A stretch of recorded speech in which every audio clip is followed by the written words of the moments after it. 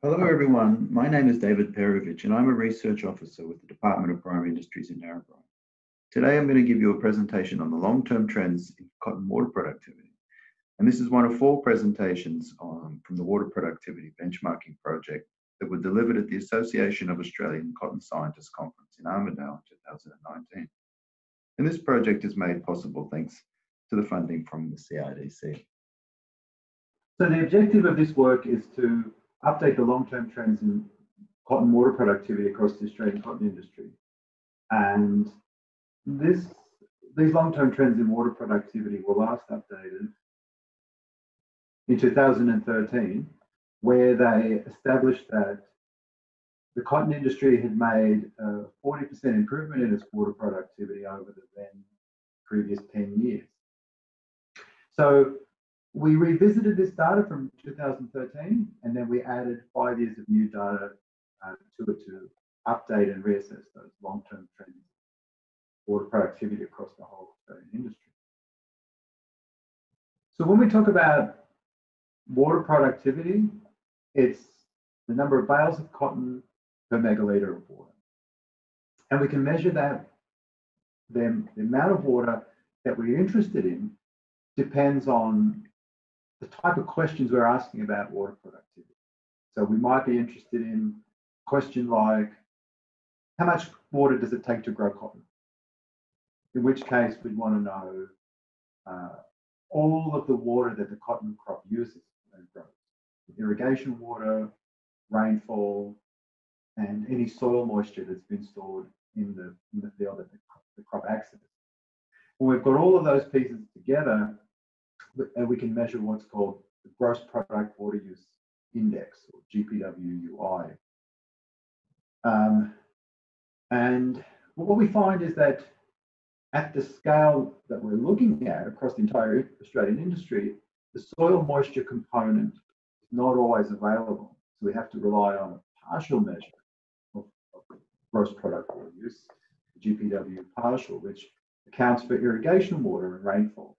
And that is by far the, the most important components of, uh, of all water the crop uses. The soil moisture component small component, but important. But so looking at the trends in GPW partials gives us a very good indication of what's happening with whole water use. But what we might be interested in is a slightly different question, is how much irrigation water does a crop does cotton use? How has that changed over time? I mean, when we think about the water that's being accessed from rivers and bores, how much of that is being um, used for cotton production? And as I said, how has that changed over time? And when we look at just the irrigation water, we call that the irrigation water use index. So we're going to look at the response of these three indices over the uh, and, and the long-term trends of these three indices across the so the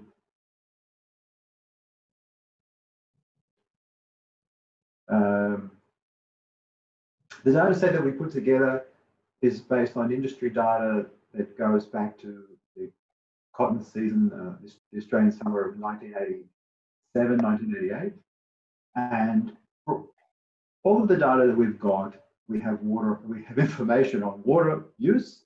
Uh, so we can calculate irrigation water, I mean, we can calculate the irrigation water index for all of the studies, for all the data that we have.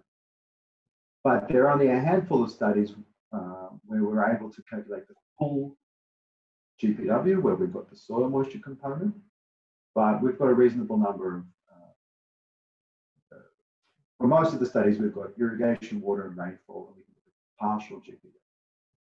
What was also very interesting is that we had an independent data set uh, coming from the Australian Bureau of Statistics uh, agricultural water use that we could use to cross-validate our, our data against.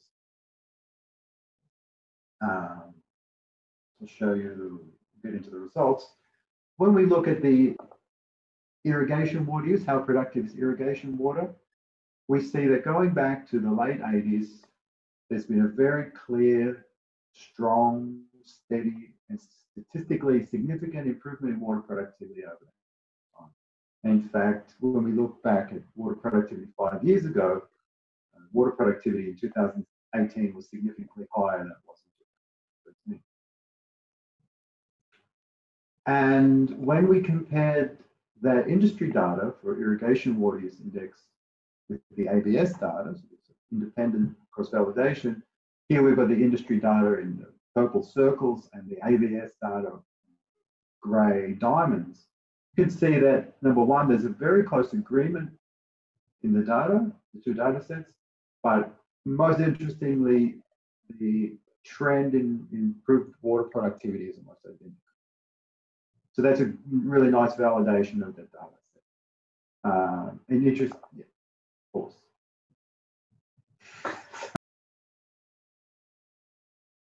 When we look at the um, the productivity of irrigation plus rainfall, we see the same trend. We, and we would expect this, but we see a steady, statistically significant improvement in water productivity over going back to 1995 over the last uh, two decades. When we have a look at the trend that we calculated for the data up to 2018, we compare that to um, the, the rate of improvement we would have estimated with the data from 2013, we see that water productivity is actually increasing at a faster rate than we would have thought uh, the data we had five years.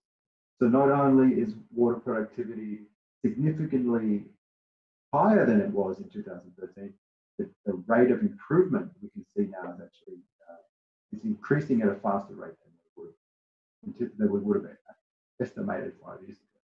And that's because there was a bit of a lull in water productivity for a couple of years coming out of them as we came out of the Millennium drought.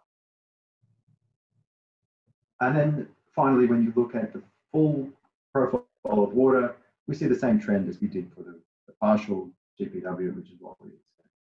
Again, long, a strong, steady, statistically significant improvement over the past few decades.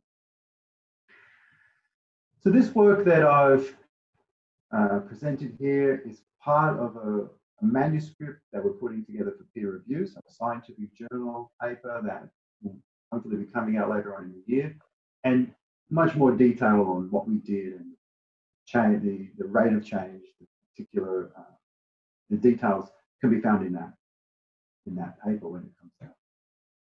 But this work has been part of uh, a long-term project co-founded funded by CRDC and New South Wales DPI called the Water Productivity Benchmarking Project that has looked at uh, water productivity across the cotton industry with the main objective of investigating whether the industry is using water responsibly and efficiently.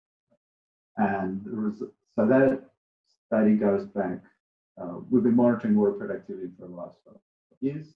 Um, and the long-term results will also feed into this the CRDC Sustainability Report 2019, which will also be coming out.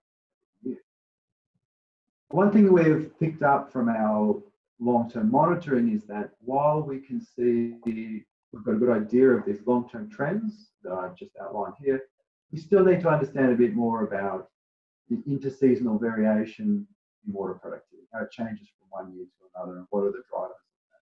So as we move forward, we'll be benchmarking water productivity on, on an annual basis as we go forward. Finally, uh, this work was was done with a lot of cooperation and collaboration, and so big thanks go out to firstly to Guy Roth from the University of Sydney for sharing the data set that he put together when he updated the long-term trends in 2013.